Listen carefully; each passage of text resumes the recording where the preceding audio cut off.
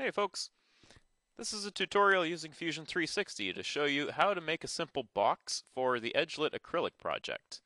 Uh, it's going to involve a few things. We're making a box. There's going to be a slot on the top for the acrylic to fit in. There's going to be a little pouch for the battery on the bottom and a hole on the backside where we can put our switch. Uh, what this looks like in the end is something like this. Uh, you're going to be cutting out a piece of acrylic, engraving your uh, decorations on the front to your heart's content. We got to make a circuit with six LEDs in a row here. And if I could be honest, I kind of prefer this project with the plywood uh, box because you can't see through the plywood. With this 3D printed part here, you can kind of see uh, what's going on inside the box. But this option is here if this is what you want to do to finish off this project. The box is basically just to hold the whole thing together. This is built to the same dimensions as the plywood box if that's the instructions you're going by. So I'm going to start by making a new design. I might flip back and forth to this one here periodically uh, just to get some measurements or whatever.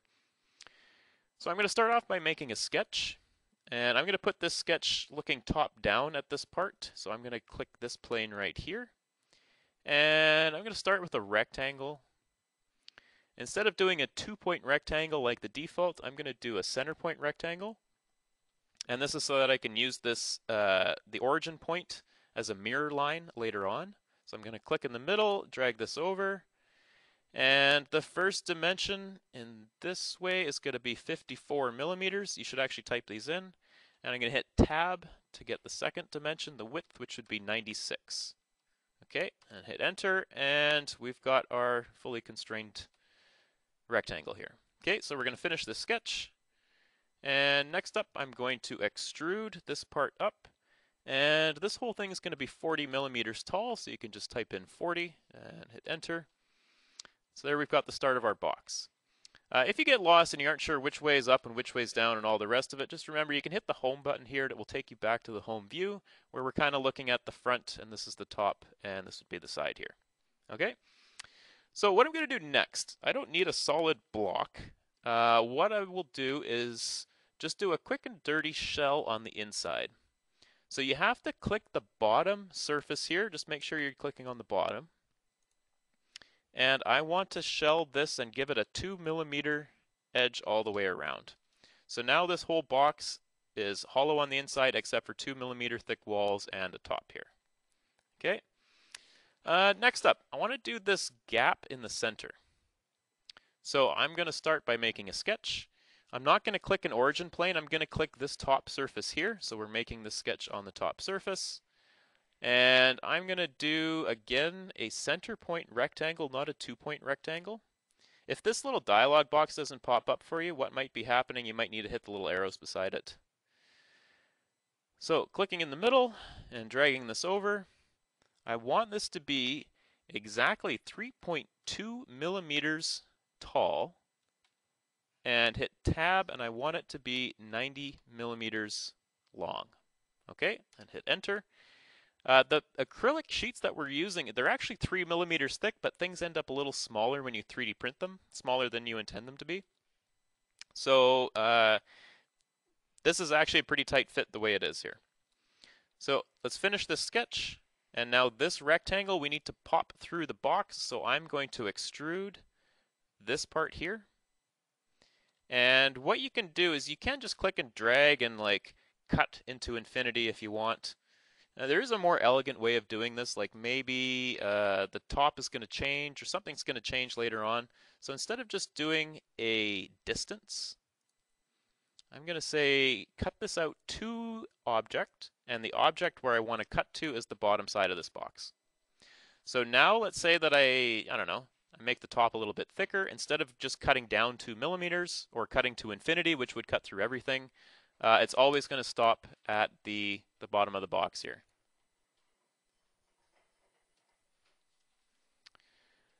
Uh, so now what I got to do is add a few little squares for the uh, for the screws that are going to mount this whole thing in. So I'm going to create a sketch. And I'm going to put this sketch here on this surface. So this would be the underside of the box. And I'm going to draw in one two-point rectangle because we're going to mirror this later on. So I'm going to try to hit this corner point here. You'll see it should snap and there should be a little uh, square symbol here. Okay, and let's pull this over. I want this to be 17 millimeters wide by 13 millimeters tall. These dimensions aren't super crucial, but that's the way it should be like that, and it should be on that surface. Finish this sketch. And now I'm going to extrude this box. And I'm going to add to the other one. I'm going to pull this down. So I'm adding to the piece, and I'm going to extrude it 12 millimeters down. Make sure it joins to the other one. Okay, so now we've got this little box here. Uh, next up, what I want to do is I want to put a hole on this little part, this little uh, bump that we just put in. But this is a pretty crucial part to measure out because I actually need these holes to line up exactly uh, in the right place because we've already made the circuit holder. So I'm going to create a sketch. Uh, this sketch is going to be on this surface here because I want the hole to start here. And what I'm going to do is lay out a couple of construction lines. So what a construction line is, is it's just a thing to space things out. It doesn't actually exist in Fusion land, if you want to put it that way. It's just a thing that we can reference and measure off of. So the first thing that I'm going to do is measure up from the center. And so I'm going to put a line in, starting from the center point here. And this line is going to go up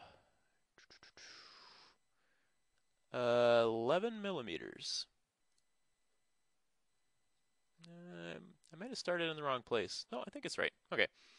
And then from that point there, in the center, we're going to move over 32 millimeters, which should end up somewhere on this square that we've made here. Okay, hit the check mark. Uh, let's put another construction line in the other way. If you feel like it, 32 millimeters. It doesn't really matter because we're going to mirror this part anyway.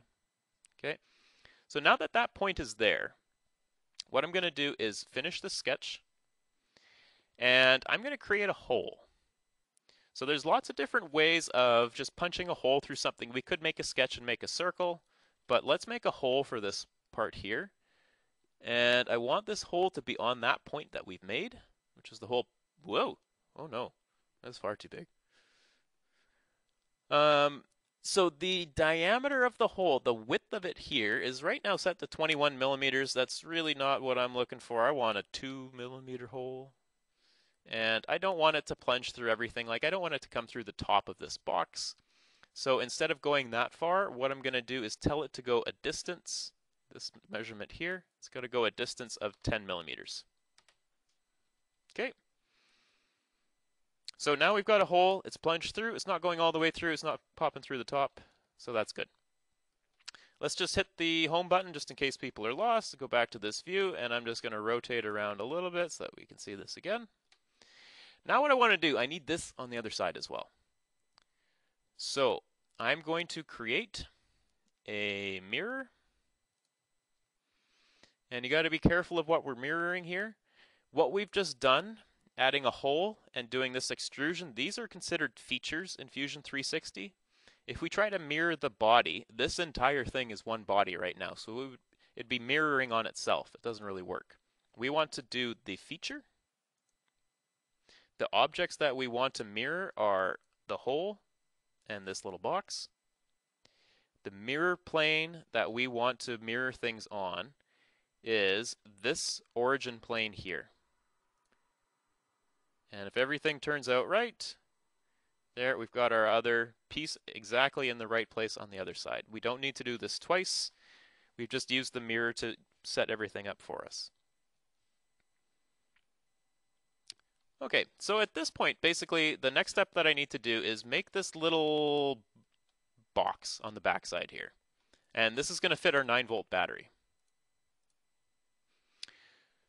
So I want this box to be on the opposite side, these screw holes here are where we're going to attach our circuit board to. And I want the battery to sit on the other side of the box to those screw holes. You see here, that's where the circuit board would go. And here is where the battery goes.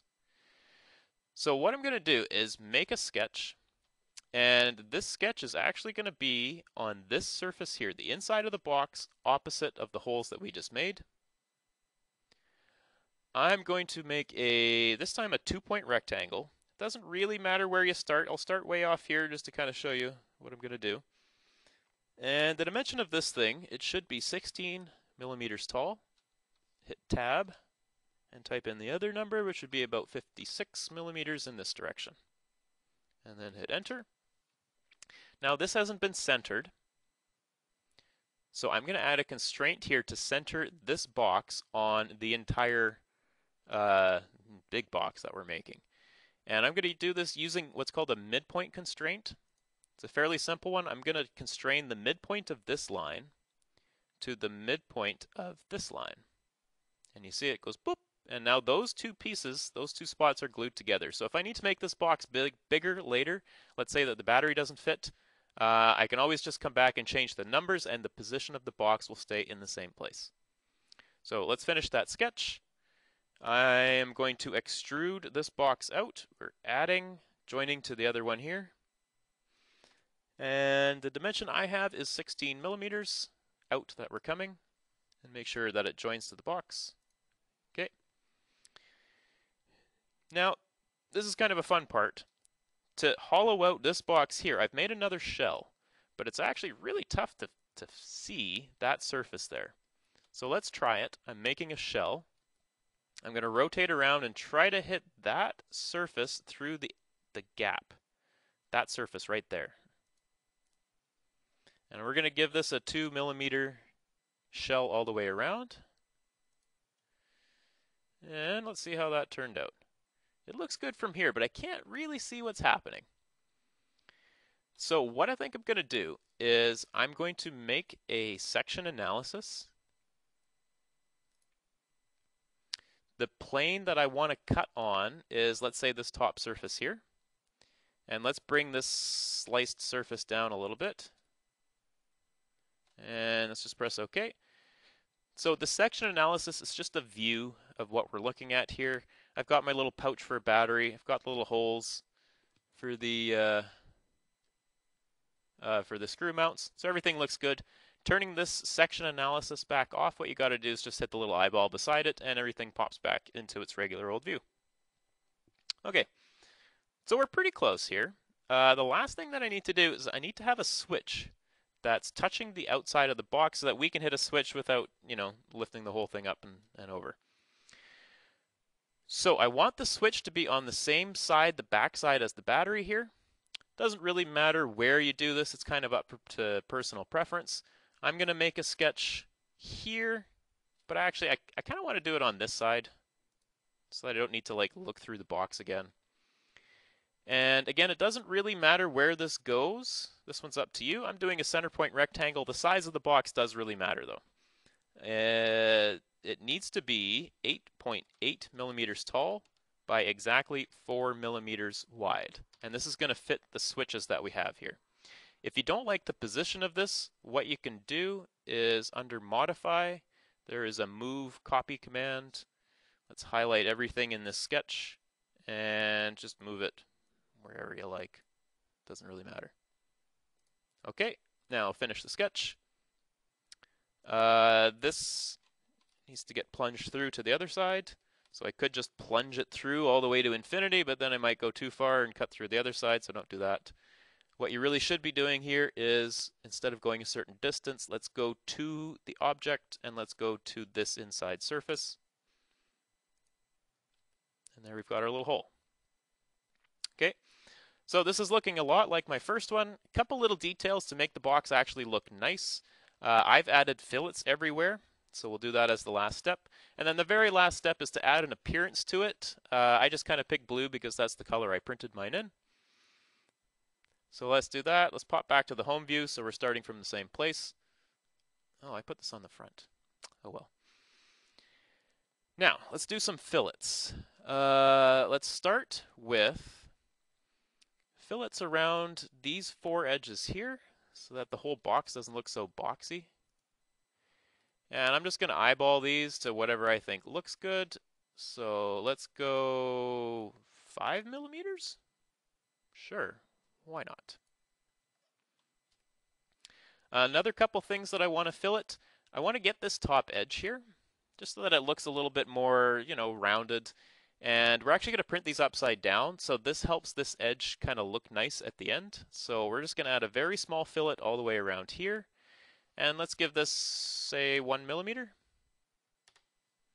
Okay, so it's just added a little bit of round to the corners here.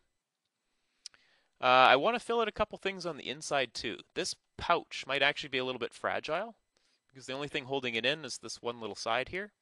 So I'm going to add fillets here and here. And I'm just eyeballing these as well. How about five millimeters? That looks good. And another part that I discovered by trial and error is as we slide the battery into this slot here, it kind of helps to have a fillet on this one edge. And let's give this a, sure, two and a half millimeter fillet. Again, that doesn't really matter. It's just going to sort of help the battery slide into place there. If you want to do a couple of more, uh, filleting these corners makes it look a little nicer.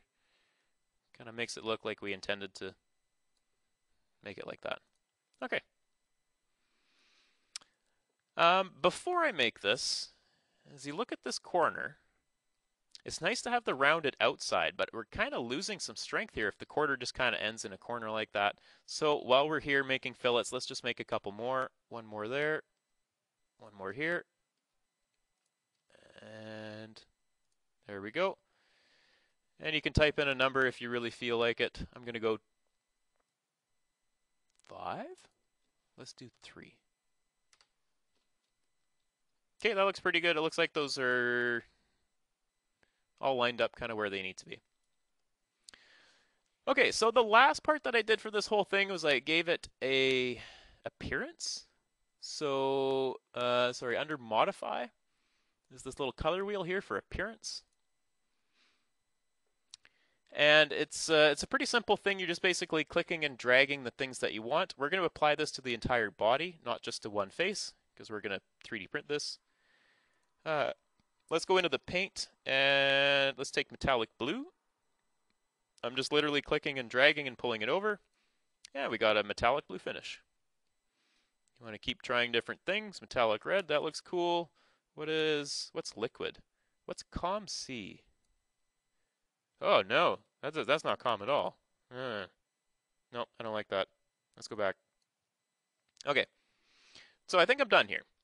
Uh, so now what I need to do, I need to save this because it's still called Untitled. So if you haven't saved it yet, you definitely should be doing this by now.